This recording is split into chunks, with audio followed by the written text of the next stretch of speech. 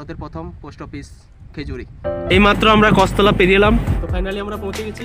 এবার আমরা শোনা যে এখানে পোস্টমাস্টার এবং সবাই মিলে এসে থাকতো এখানে। চুরি হওয়া সেগুলো আজ ধ্বংসের পথে। কিন্তু যদিও এটা দীঘার নয় যদিও এটা দীঘার নয় পুরো একদম দীঘার মতনই। তোমরা যদি আসো খুব সাবধানে আসবে দেখতেই পাচ্ছ খুব রিক্সে যেতে হচ্ছে। তো তোমরা পোস্ট অফিস দেখতে এসে এটা দেখে দিও এবং তার অংশ ছিল যেটা ভেঙে গেছে।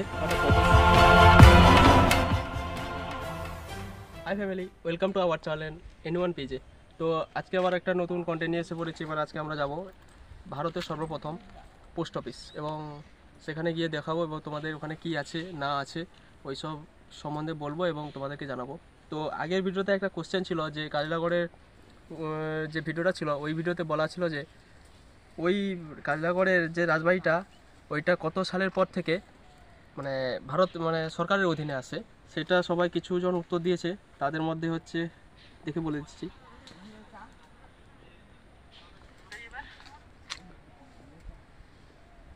পাপা কুইন অনু, ও ভুল উত্তর দিয়েছে। আর আরেকজন সৌম্যদীপ মিশ্র, ও জাস্ট এমনি কমেন্ট করেছে। আর বুদ্ধদেব সামন্ত, উনিশশো পঞ্চান্ন, ঠিক উত্তর দিয়েছে। আর একজন আছে টুম্পা জানা। ওইও ঠিক উত্তর দিয়েছে। তো দুজনকে বলছি, তোমরা কমেন্ট করে জানাও এবং ইনস্টাগ্রাম কুমারের পেজে আছে, ওখানে মেসেজ করো এবং বলো তোমাদের ঠিকানা এবং অ্যাড্রেস বললে আমরা ওখানে যাব, তোমাদেরকে যে, তোমাদের যে জিতে নেওয়া প্রাইজ ওটা আমরা তোমাদেরকে শেয়ার করব। তো এবার আমরা ভিডিওটা শুরু করছি। ভারতের প্রথম পোস্ট অফিস খেজুরি। ভারতের প্রাচীন ঐতিহ্যের মধ্যে খেজুরি হলো এক ঐতিহাসিক বর্ণনা, যা আজও ক্ষতবিক্ষত অবস্থায় পড়ে রয়েছে তার চিহ্ন।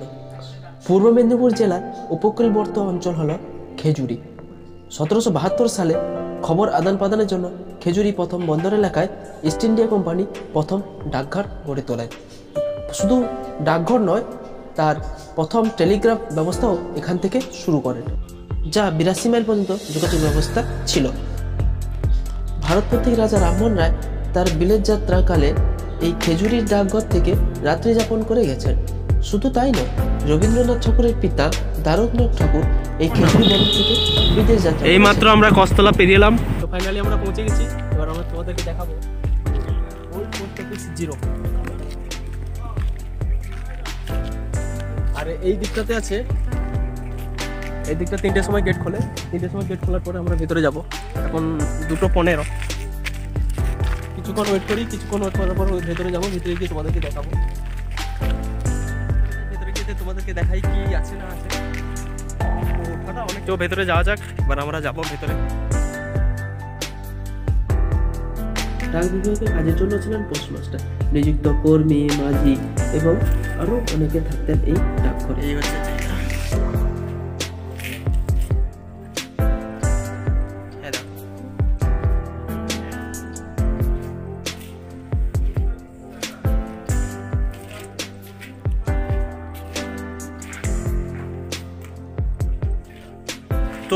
বাড়িটা কি?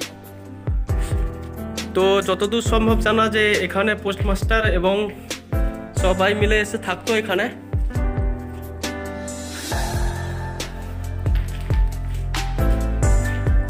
অনেকটাই ভাঙাচোরা অবস্থা পড়ে আছে।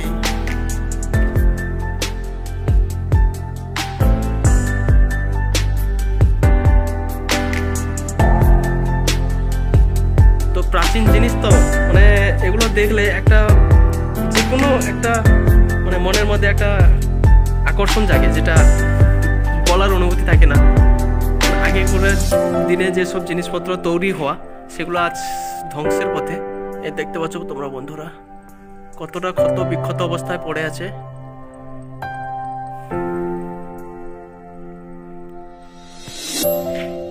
তো চলো এবার আমরা উপরের দিকে যাই, গিয়ে তোমাদেরকে দেখাই।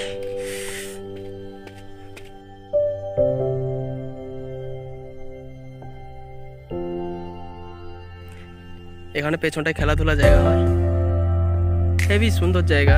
একটা গ্রামের ভিতরে এত সুন্দর একটা জায়গা আছে, আমাদের জানা ছিল না।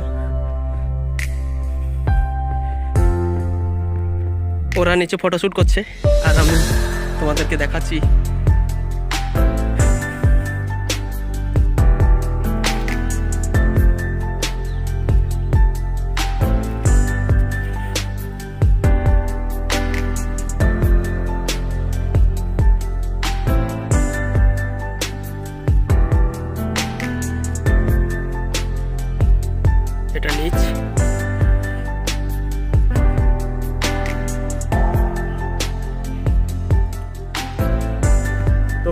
খুলতে আমাদের অনেক দেরি আছে বলে তিনটের সময় খুলবে, ওই জন্য আমরা কাছাকাছি নদী আছে বলে তাই কাছাকাছি একটু নদী থেকে ঘুরে আসি।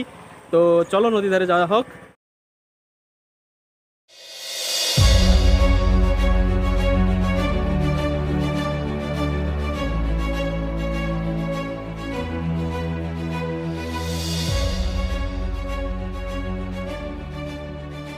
সম্পূর্ণ দীঘার মতনই লাগছে কিন্তু যদিও এটা দীঘার নয় যদিও এটা দীঘার নয় পুরো একদম দীঘার মতনই লাগছে তো আমরা আস্তে আস্তে এগিয়ে যাচ্ছি। অ্যাকচুয়ালি আমার বাবলু থাকলে আমার ভয়েসটা আমার খুব কম লাগে। ওই ভয়েস করে দেয়। এগিয়ে চলেছি। তোমরা যদি আসো খুব সাবধানে আসবে দেখতেই পাচ্ছ খুব রিক্সে যেতে হচ্ছে ওপারে।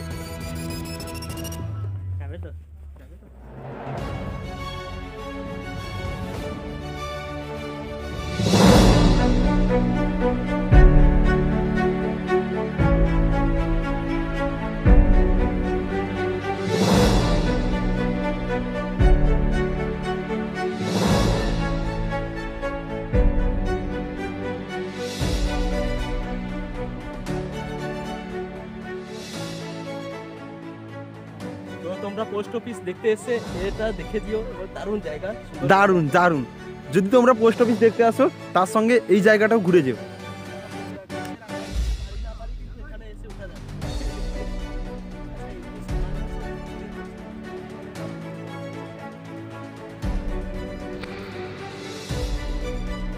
দেখুন বন্ধুরা থ্রি ইডিয়টস এর মধ্যে একটা ইডিয়ট ক্যামেরার বাইরে আছে আর দুটো ইডিয়ট এইখানে আছে। দেখতেই পাচ্ছ? ওয়াও এই জায়গা মিস করবে না বন্ধুরা। হ্যাঁ।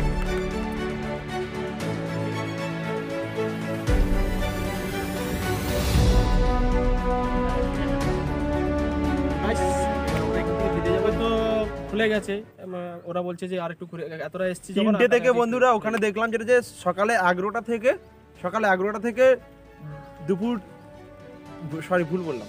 সকাল এগারোটা নয় ওটা হবে সকাল আটটা থেকে দুপুর এগারোটা এবং বিকেল চারটে থেকে কি তিনটে থেকে পাঁচটা। পর্যন্ত। তো ওখা- ওখানে আমাদের যে টাইম দিয়েছিলাম ওই টাইমের মধ্যে খুলে গেছে। কিন্তু এখান থেকে আমরা এখান থেকে বেরিয়ে আমরা বেরিয়ে বন্ধুরা আমরা সি বিচ থেকে রিটার্ন ঘুরে আসলাম আমাদের পোস্ট অফিসে আমাদের গন্তব্যস্থল যেখানে ছিল পোস্ট অফিসে তো আমরা পোস্ট অফিসে চলে এসেছি। এবার পোস্ট অফিস খুলেও গেছে। ওটা এখন পার্ক সিস্টেম হয়ে গেছে পোস্ট অফিস খুলে গেছে। এবারে আমরা দেখাচ্ছি ভিউটা দেখুন একবার।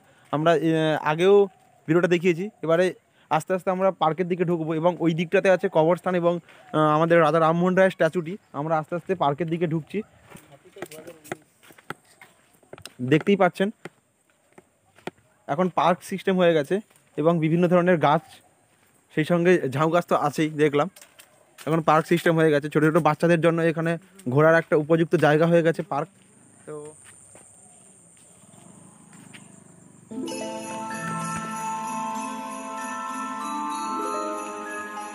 ইংরেজদের আমলে এটার নাম ছিল কেটগিরি।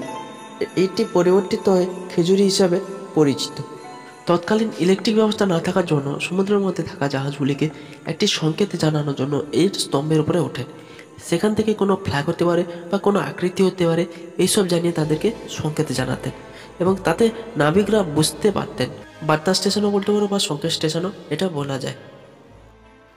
খেজুরিতে নির্মিত প্রথম ডাকঘরটি, যেটা ইউরোপের বণিক, নাবিক ও তাদের যোগাযোগ ব্যবস্থা বলতে পারো বা চিঠি আদান প্রদানের জন্য খুবই গুরুত্বপূর্ণ একটা ভূমিকা পালন করে। এটি ছিল তিনতলা বাড়ি, যেটা আজ ধুলির সাথে পথে। আজ শুধু দাঁড়িয়ে রয়েছে একটি সিঁড়িদর আর একটা ঢোকার একটা প্রবেশ পথ। এখান থেকেই ছোট ছোট নৌকা করে মাঝ সমুদ্রে থাকা জাহাজগুলির কাছে বার্তা পাঠাতেন আঠারোশো সাত, আঠারোশো একত্রিশ, আঠারোশো তেত্রিশ, আঠারোশো চৌষট্টি সালে প্রবল ঝড় এবং বন্যায় খেজুরি এই বন্দর সহ ডাকঘরটি ব্যাপকভাবে ক্ষতিগ্রস্ত হয়। এমন পোস্ট অফিসের পোস্টমাস্টার সহ তার পরিবার ভেসে যায়। তারপর থেকে প্রাচীন ডাকঘরে সিঁড়িঘর ছাড়া আর সব কিছুই নষ্ট হয়ে গিয়েছে। এখন আছি ভারতবর্ষের প্রথম পোস্ট অফিস খেজুরি। তো অনেকটাই ধুলিসাৎ হয়ে গেছে, ভাঙা পড়া জায়গা। আর এখানে মানে আরও কিছু অংশ ছিল যেটা ভেঙে গেছে। একটা প্রবেশ নিষেধ আছে মনে হয় কিছু লেখা নেই তাও আমি ঢুকে পড়েছি জোর করে।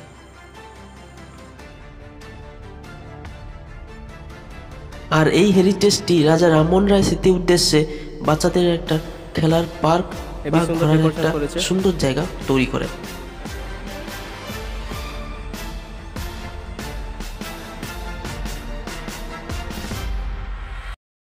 এটি হলো সমাধিক্ষেত্র যা এখানকার নাবিক বা হয়তো কোনো কর্মীরা মারা গেলে এই সমাধিক্ষেত্রে তাদের সমাধি দেওয়া হতো।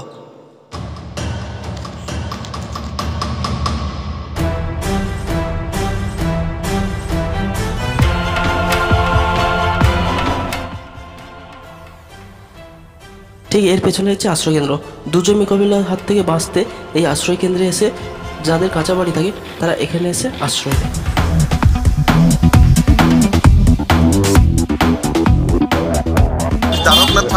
তাদের কর্মকাণ্ড, সমস্ত কিছু এখানে, সমস্ত কিছু বৃত্তান্ত দেওয়া আছে। যেমন এটা ধরুন রাজা রামমোহন রায়ের সমস্ত বৃত্তান্ত দেওয়া আছে এবং ঠিক তার পরেই আছে প্রিন্স দ্বারকনাথ ঠাকুরের কর্মকাণ্ড, সমস্ত কিছু দেওয়া আছে। দেখতে পারেন, আপনারা যদি আসেন এগুলো ভেতরে ঢুকে পড়তেও পারেন তাদের সম্পর্কে, তারা এখানে কী জন্য এখানে তারা বিখ্যাত, সে সম্পর্কেও সবটুকু দেওয়া আছে এখানে। তো ভিডিওটা আমরা এখানে শেষ করছি, আর এবার আমরা বাড়ি থেকে রওনা দেবো। যদি ভিডিওটা ভালো লাগে লাইক কমেন্ট শেয়ার এবং সাবস্ক্রাইব করো। তো তব তক বাই বাই